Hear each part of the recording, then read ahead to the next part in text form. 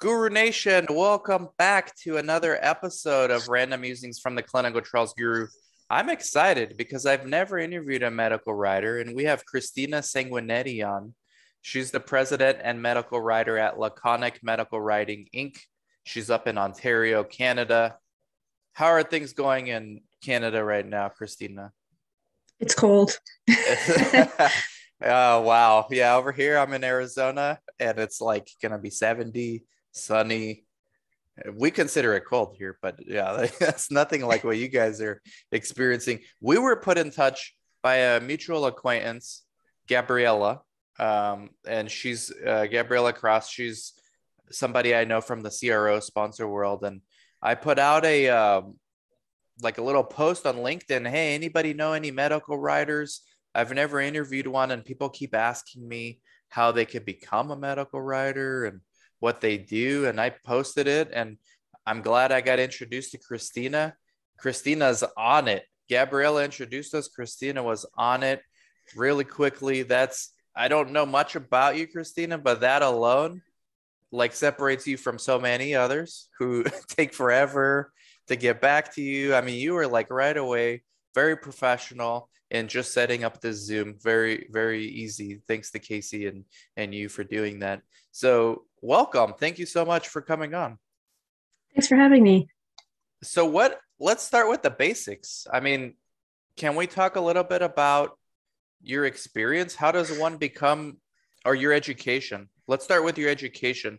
How does one become a medical writer? Like is there a prerequisites you have to have or is it loose kind of like clinical research is it just very vague as to who can be a pi or a coordinator so medical writing um, is a very interesting little niche right we're kind of like technical writers but very specific for medicine and science um, when i started in clinical research was about 20 years ago um, and it was very different back then because medical writers were not what they are today. Like today, we're a lot more recognized. Um, we're fairly new to the clinical research scene um, as a group with the title. Um, and there's been a lot of changes over the years in terms of education and how you actually get into it, right? Um, so if you talk to a lot of people that started around when I started, um, we were all kind of thrown in by accident, right? So you see, that sounds degrees, like clinical research. Right. Um, and a lot of us didn't even know that there was a term for what we were doing, right? We just thought we were writing. Um, it's evolved since then. There's certifications you can get. A lot of universities, especially in the United States, actually have formal master's programs now for medical writing. Um, you know, there are few in Canada right? But we're a little bit behind you guys in terms of that education. Um, there are associations now you can join and get certifications through that. So, in a very short time, you know, the industry has definitely evolved.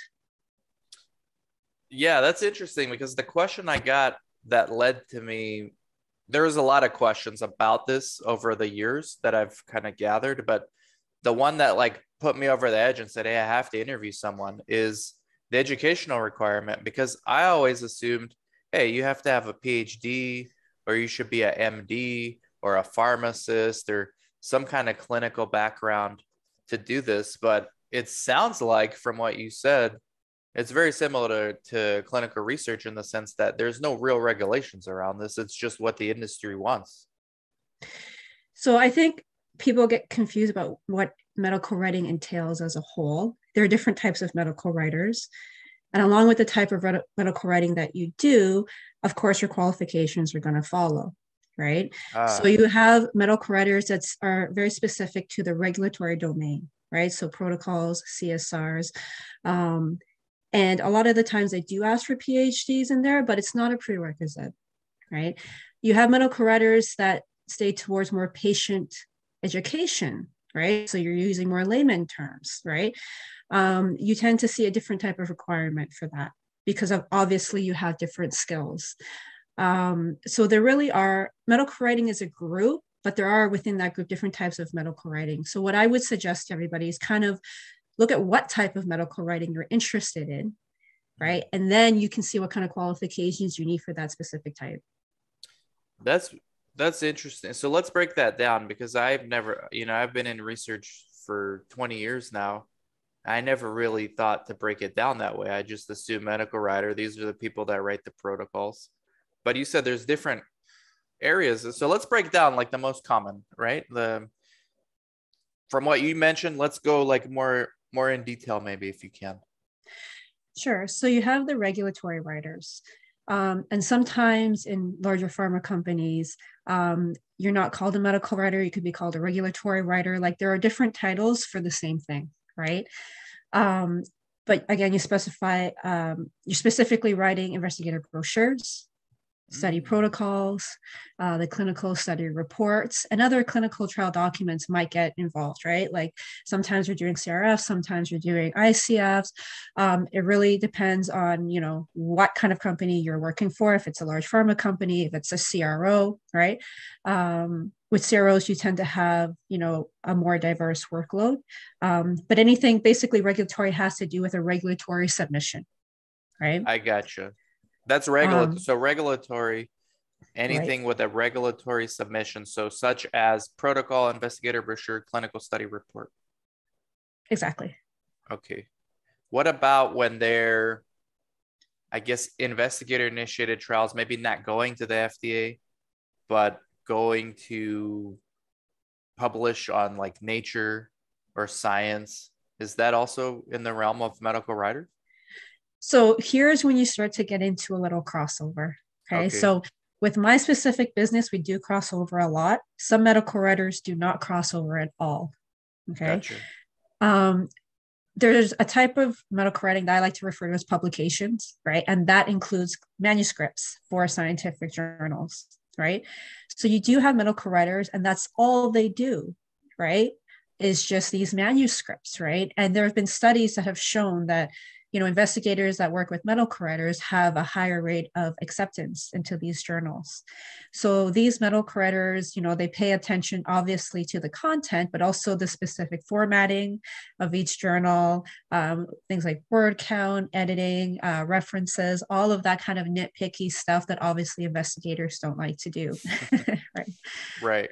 Um, so that's what we kind of call publications. And along with that are the abstracts posters okay. would also fall into that category um, for conferences um, and things like that. Because um, often out, out, of these conferences and congresses will come scientific papers right? Right. Um, so there's a group of medical writers that handle that. So so far both of these groups and this is great actually. I, this is one of the reasons i do the podcast is to learn for myself. Like i didn't realize thanks to the community for the questions because it would have probably taken me another couple years to interview a medical writer but so from what i understand from regulatory or from publications manuscripts abstracts those two categories uh, they all require some kind of like science knowledge right? And maybe even further like a domain specific therapeutic indication knowledge. Can this be self-taught? Like can you just be really good? Let's say you've been a coordinator in oncology studies for, let's say, solid tumors for 20 years, could you theoretically become a medical writer? A hundred percent, right? Um, I believe that if there's a will, there's a way. And if you want it to be a career, not just a job, you'll find a way to do it and you'll be excellent doing it, right? Um, I myself have a Bachelor of Medical Science in Immunology and Microbiology. So I have a very, very uh, heavy science background. But early in my career, I actually was a clinical research coordinator. Oh, I didn't know that. Yes. even better yeah. interview now. Awesome. So that would that makes me a little different in the field because when I'm writing a protocol, I always have the end user in mind, which is the coordinator, because I can tell you there were many times as a coordinator, I got these protocols and I'm like, how am I supposed to pull this off? Right. Wow. Like you're in a busy clinic, you have more than one study running, you have one ECG room and all the studies are on the ECG at the same time, right? Like certain things are not feasible. So my CRC experience actually helps me when I'm writing these protocols, right? Um, because you know amendments are expensive. I read an article the other day that's saying for each phase three protocol amendment cost half a million dollars by the time you've reconsented, gotten ethics approval, gotten all the approvals you need. So wait, each you know, phase three amendment protocol amendment, yes. Phase three amendment. Is half a million dollars. Exactly. Wow. Would a phase two be less, right? Because it's less sites, less patients. I'm Well, that's a situation where you have to reconsent the patients, right? yeah. Um, you need the ethics approval, the regular. So that's kind of more of like a worst case scenario. Wow. But anyone in clinical research, like we all know how many amendments, right? usually Um, a three, phase three, three per on average, three to four. Right. Right? So you can see the cost that's involved in this. So if you can prevent some of these amendments at the beginning, right, as a protocol writer, um, and make sure that it's feasible for the clinic.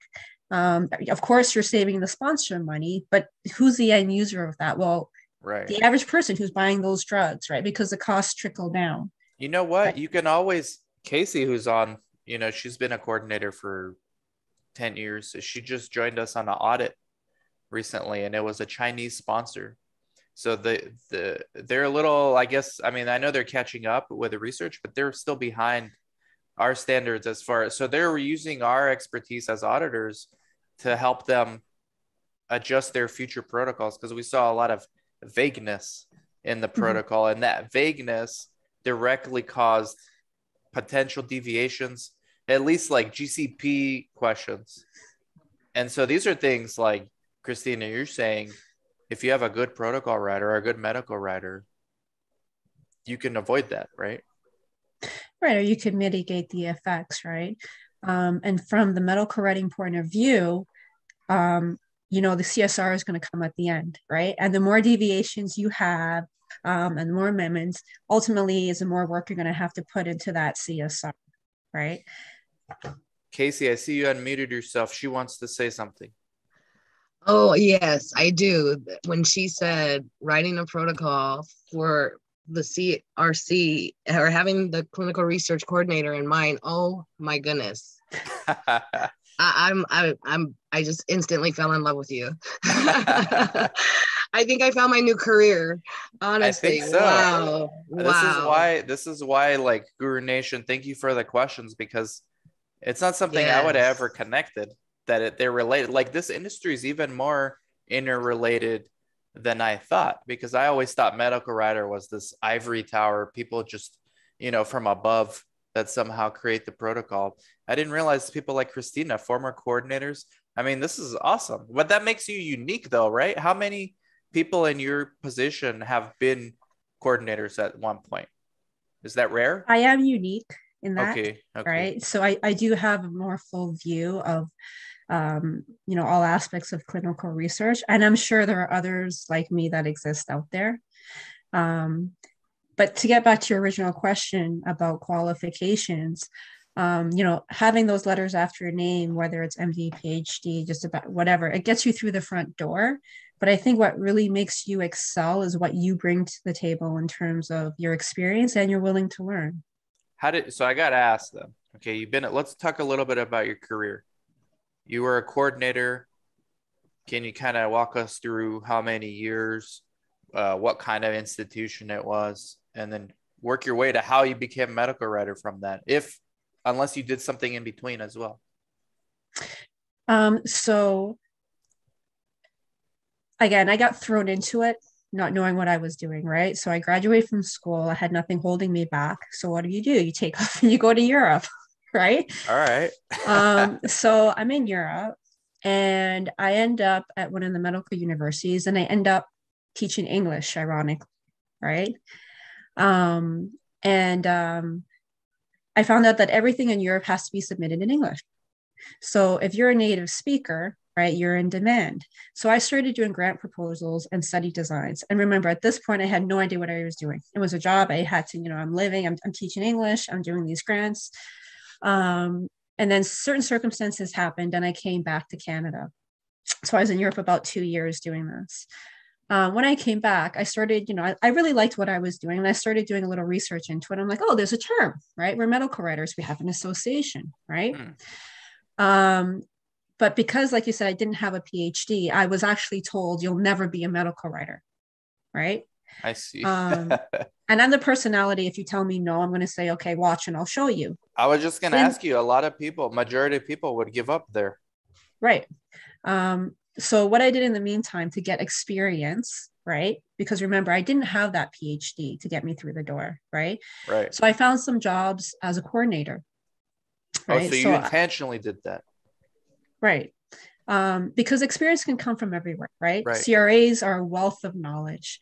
Coordinators, I think they don't get enough credit for what they have to do, to be honest, right? Um, the stress of all those SAE reports and all of that, like um, they they really need more recognition. Um, and I did the coordinator thing. I worked for CRO and I also did it at Sick Kids Hospital in Canada, right? So I did pediatrics as well. Um, and I didn't like it because of that responsibility. Like I didn't like knowing that, you know, I could have a patient's life in my hand. I didn't like knowing I had 24 hours for an SAE that I had to report. Like carrying all of that stress, and I had a little kid at that time as well, was just so overbearing.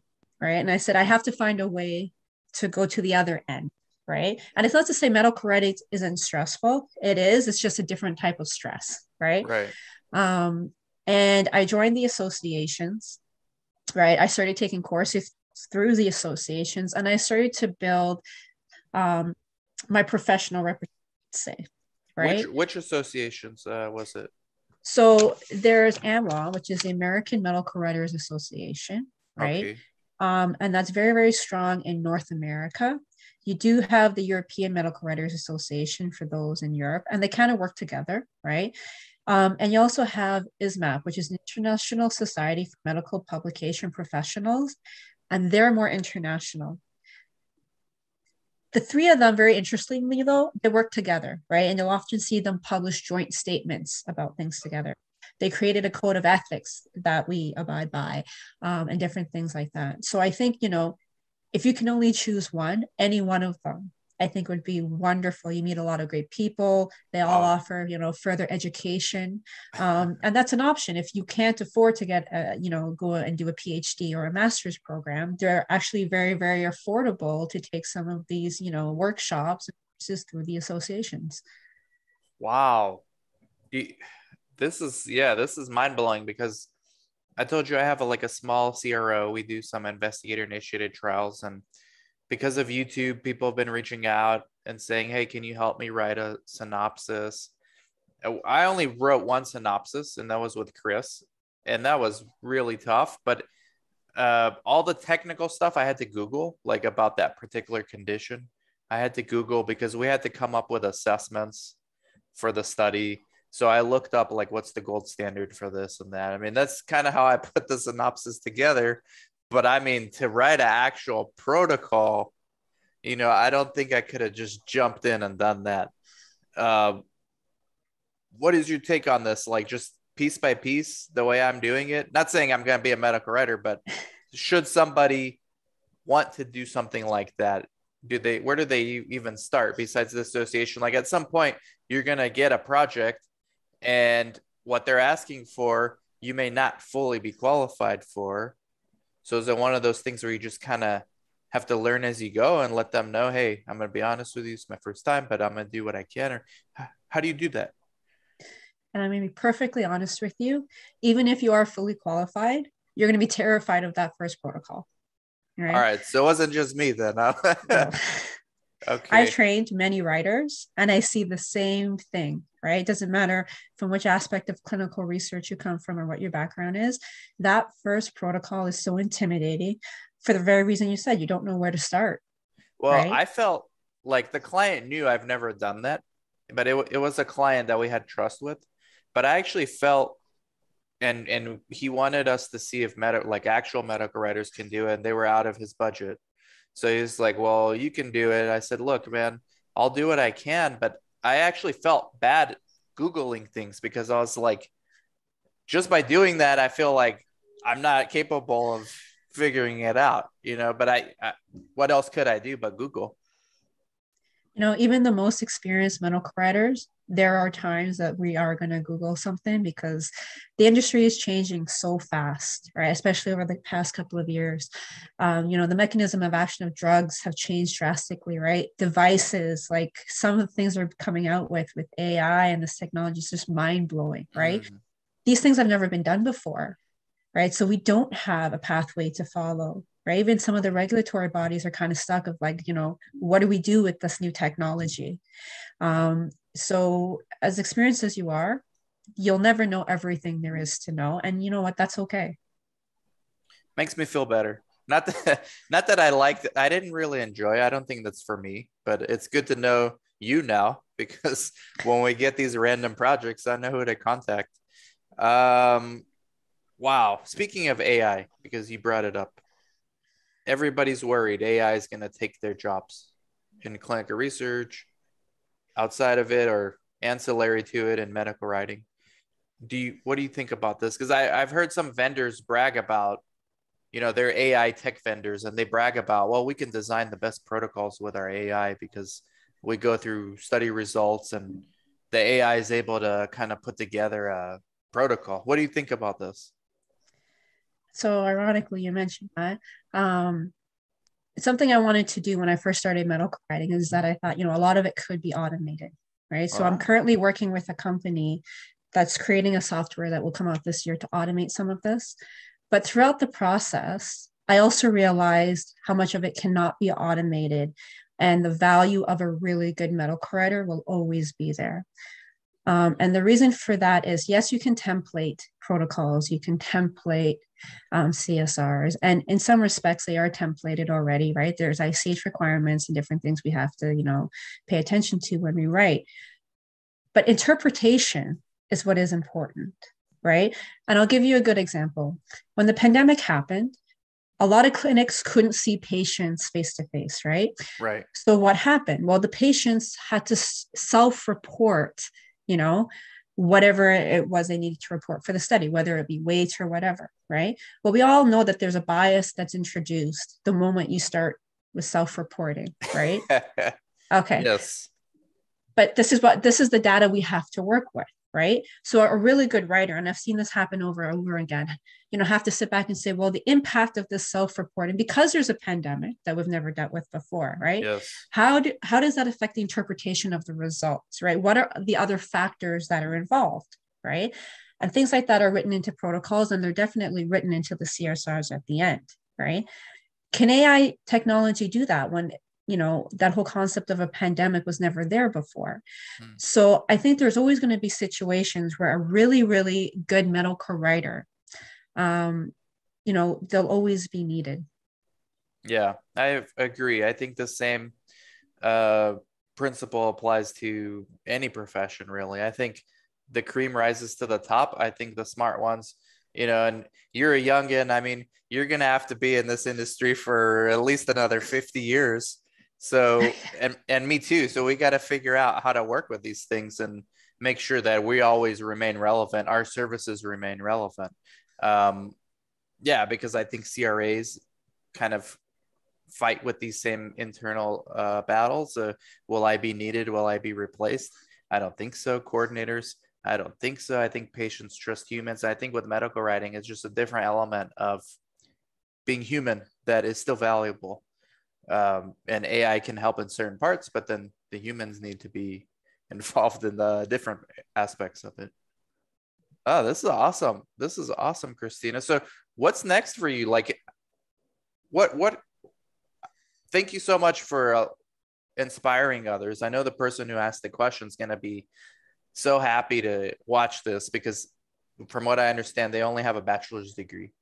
So, and then what your background as a coordinator helps me with my narrative because I tell everybody CRC, if you want to be anything in clinical research, but also in life sciences in general, clinical research coordinators like Grand Central Terminal. From there, you can go so many different places. And I think you help reinforce that narrative that I have. Uh, you help confirm it. But what's next? You know, like I said, you are young are you thinking about what's next? You kind of hinted with AI and figuring out how to utilize it better. What do you have in mind for for for the future of your career and of the industry? I love medical writing. Um, and in terms of clinical research, I can't see myself doing anything else but medical writing, right? Um, but the industry of like the medical writing industry hasn't changed that much in terms of technology right?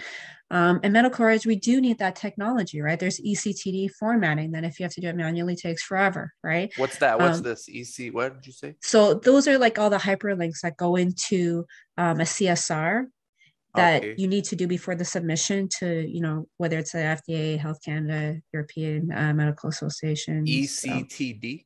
yeah. Um, and I think what the medical writing industry needs as a whole right now is some innovation, right? To make our job easier because protocols are becoming more complicated, right? Um, which makes every document related to it more complicated, right? And we're spending a lot of time doing things that we don't necessarily need to do, right?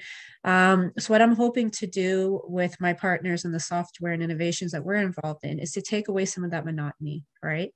Um, so that medical writers are being valued um, and that you know they're really spending their time where their time needs to be spent right because like you said um, one of the barriers to hiring a medical writer sometimes is cost right Yeah. so you know if we can give you the best value for that cost it, you know i think more people would be able to get involved with medical writers and i think it would be better for the industry as a whole More right? So- studies, faster studies. exactly You mentioned I never take notes when I interview, so this says a lot about the content you're putting out, you're giving me right now. Protocols becoming more complicated. Again, it's another narrative I keep echoing on this podcast because I see it with my own eyes. I've been doing this full time since 2005, and I, every year, and, and now I'm back to being a coordinator because we started a, a brand new clinic, and I'm seeing like the protocols are extremely complex now. Fairly, like I can't even. I I hate the people that designed this trail that I'm working on. It's terrible, but I know why they did it. They're trying to cherry pick certain data, and we can get into that too. But let's talk more about the macro of what you just said. Protocols becoming more complicated. Why do you think that is? Like, just what's your personal opinion on why that's happening? I think there's many factors. One, I think the technology, right, whether it's it's drug or device, um, is becoming more complicated, right? Obviously, you know, we know more about science today than we did 20 years ago, right?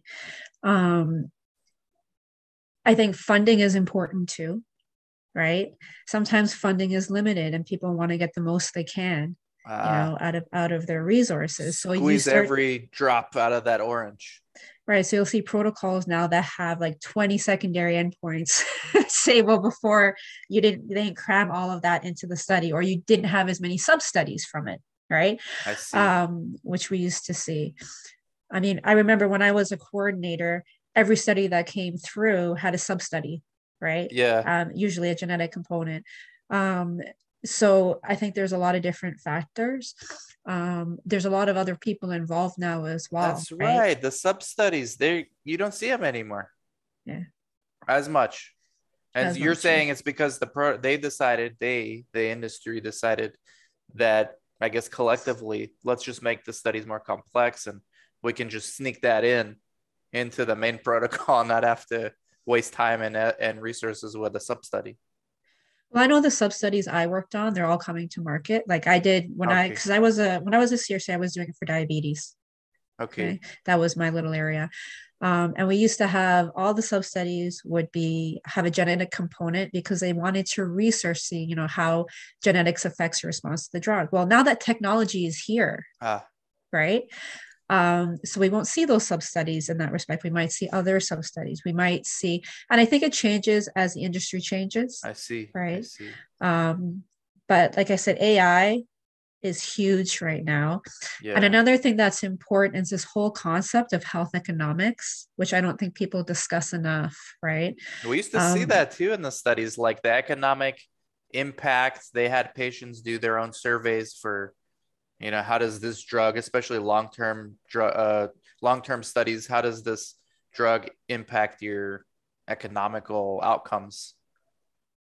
Right. So this is something um again you can have specialized medical writers in health economics it was something again that i was kind of like thrown into Wow. but we're doing a lot of that in my company right now um, because i think all of the regulatory bodies have recognized the importance of patients and caregivers right and that the cost of a disease is not you know just how much a drug costs right? Mm. there's transportation to see your doctor right? Yeah. there's caregivers taking time off work to help you. There's all these different factors now. And i think sponsors have realized that these need to be incorporated into the clinical studies right? Um, because they are a huge fuss and, and the regulatory bodies are asking for these now as well. So patient reported outcomes which are those questionnaires of quality of life and things like that that adds complexity now to the protocols and the studies. I see. As a writer do you write those too the pros or is that a, like somebody else comes up with those? A lot of them come from um, standardized resources but you will have you know investigators that are bringing out their own. We do help with that as well right? Um, you know, the great thing about being, being a medical writer is that it's so flexible that you can choose what you want to be involved in, right? Yeah. Um, especially if you're a freelancer, um, you really get to choose. Like, if you don't want to write these questionnaires, well, you just don't take on that work, right? If you do, yeah. then there's a lot of opportunity for you to do that. Wow, this is incredible. The I want to continue with the protocols becoming more complicated. I love how you just broke it down with the science technologies getting better. We can we know enough about genomics now. We don't necessarily need more genetic sub studies, but maybe there's going to be something in the future like microbiome. You know, I think we know very little about that. I personally know a few doctors in that space that are raving about this is the next genetic, this is microbiome uh, so maybe we'll see the, like those kind of sub studies. But my con- my biggest like when I said I I want to like strangle the people who wrote my protocol that I'm a coordinator on. It's not the endpoints; it's the inclusion exclusion criteria. The when I refer to them being more complex, that's what I'm referring to. But I see what you're saying also about the endpoints. But like these IE criteria, they just keep getting stricter. And I'm wondering, like, is that the sponsor trying to kind of cherry pick the candidates? So, being devil's advocate here, right? the medical writers usually get the brunt of everything. Yeah. Because people don't understand what we do. But everything that we put into a protocol has a reason, right? It's not just, you know, let's make them their life difficult and put, you know, these requirements in there.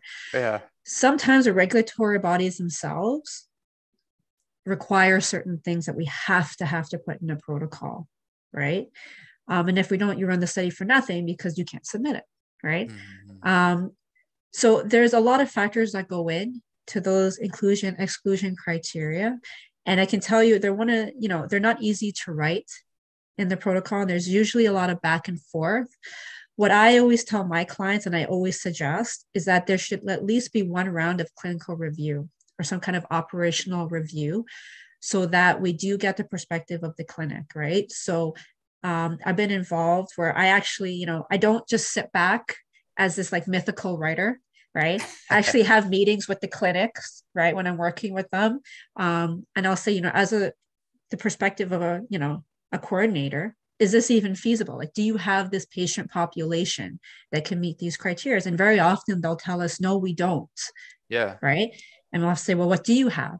Right. And we'll try and incorporate. So I think open communication is very, very important. And I like for me, of course, with my, you know, company, I always, always push for a clinic perspective. That's that's really good. I mean, I wish we'd have more medical writers like that. What what do you think you were mentioning the regulatory bodies oftentimes requiring the, the IE criteria be a certain way. Over the years, what like what's the trend?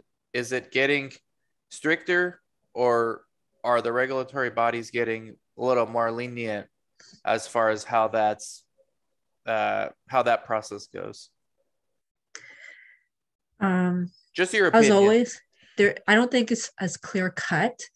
Um, the great thing about what is happening in the world right now, right, um, is I think the pandemic has brought technology to the present that may have taken longer to come, right?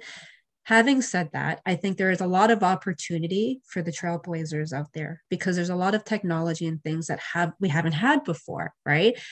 And as the regulatory body sees these new technologies, you are developing like the policies with these studies as you are the first ones there so you have a responsibility i think to have robust research and data right and to do it well but you have an opportunity to give the feedback to the regulatory bodies as well, saying, you know what, this is feasible and this is not.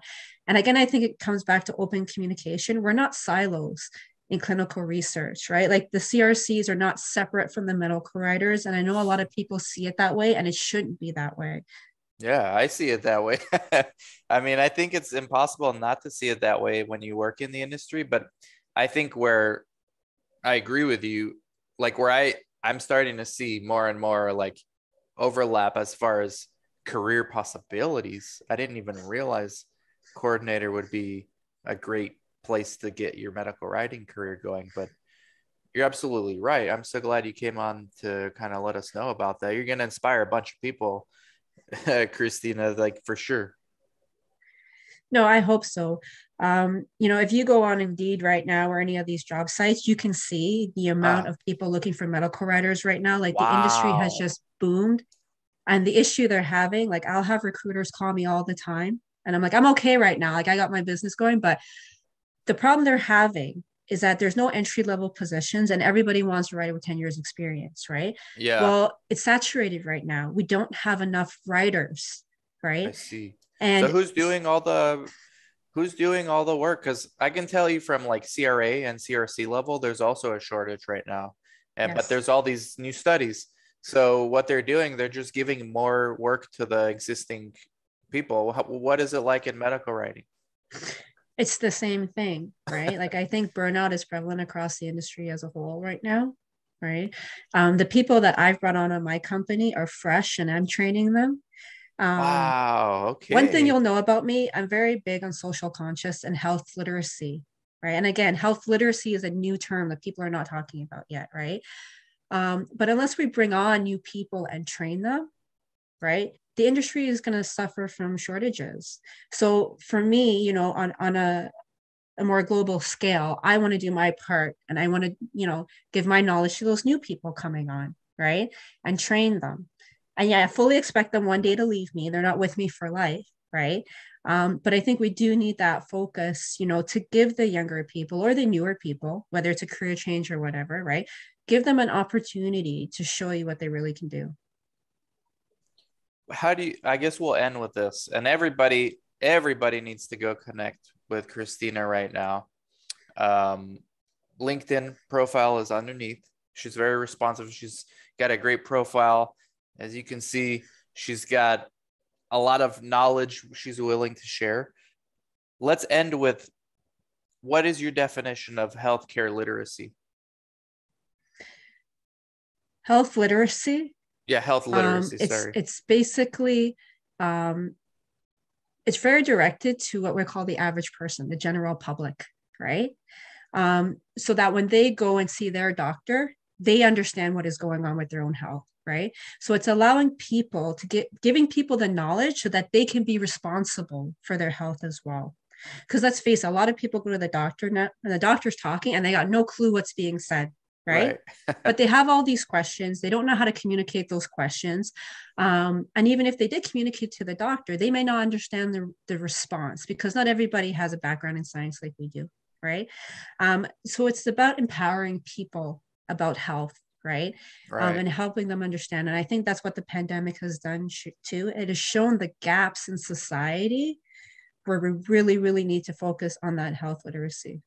Yeah, and I think health literacy is something, it's a goal that can never truly be achieved because even people like us, well, I don't want to speak for you, but myself, like I've been in research for 20 years, you know, I'm not familiar with a lot of the therapeutic indications or areas like cardio. I'm not that good in nephrology, um, immunology. I'm not good in those. I'm good at like central nervous system, a little bit internal medicine, a little bit of oncology now some derm, but like when I go see a doctor and think thank God I haven't for like kidneys or something, but let's say renal, right?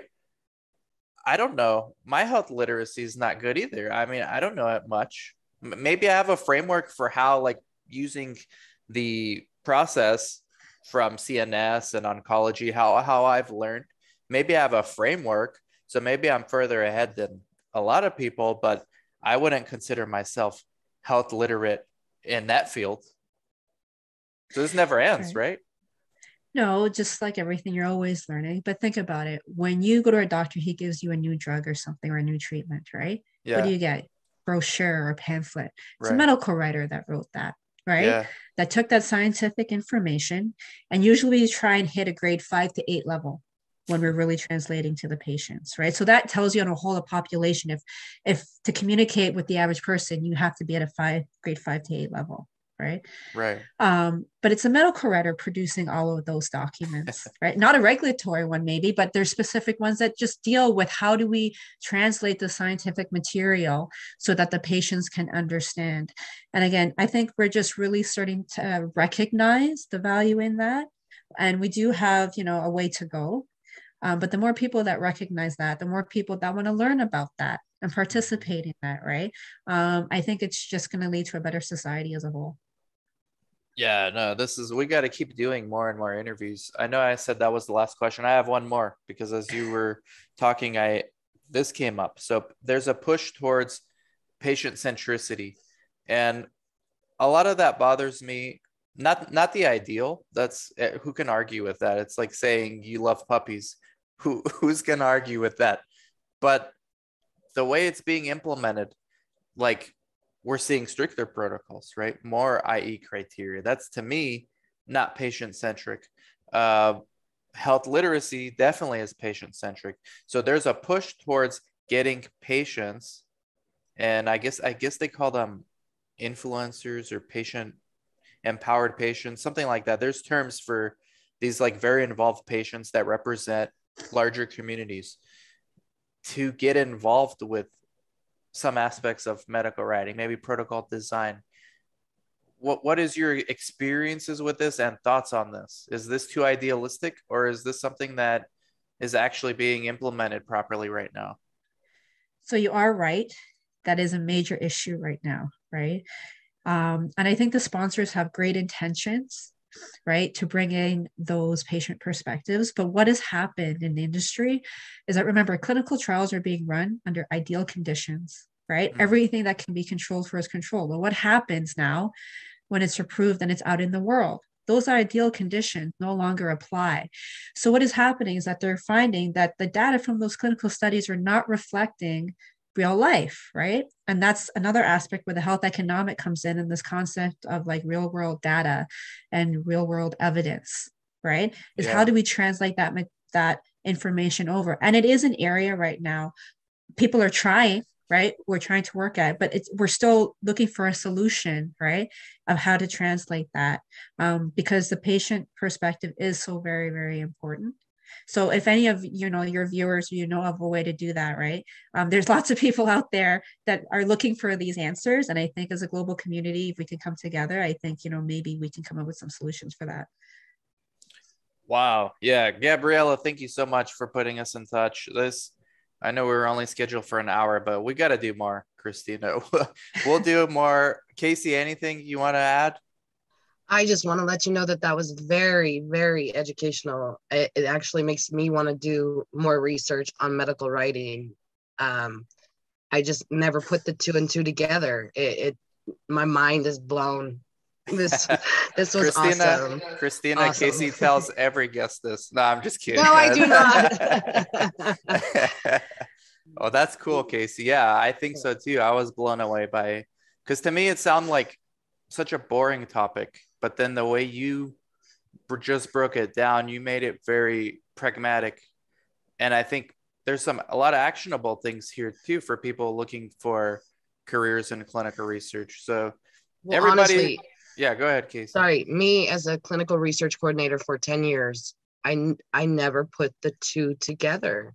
Um, like you said, the brochures that once it does hit the market, those are all written by you guys. And and again, you being a clinical research coordinator and writing protocols with that mindset, you're going to have a dozen, uh, more than a dozen uh, clinical research look, people looking for you. I, oh, I guarantee yeah. it. They're after this podcast, yeah, they're gonna they're gonna yes. be hitting you up like crazy on LinkedIn. I'm gonna go find you on LinkedIn. We're gonna have sponsors hitting you up, like, hey, come on, Christina, let's talk.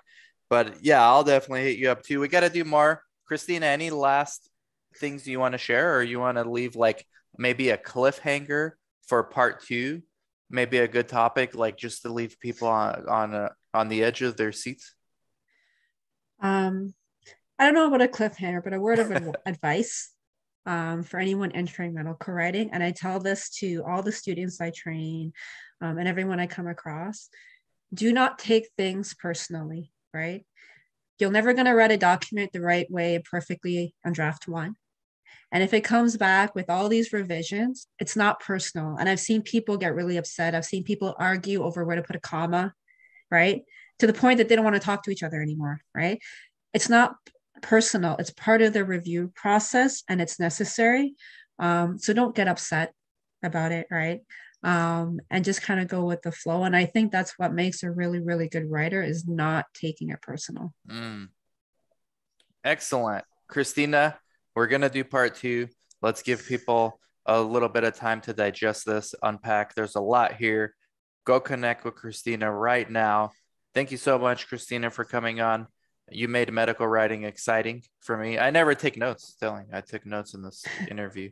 Um, so thank you so much. And thank you, Casey and Gabriella, for setting this up. Guru Nation, thank you for watching, listening. Keep the questions coming, and we'll catch you all later, guys. Bye bye.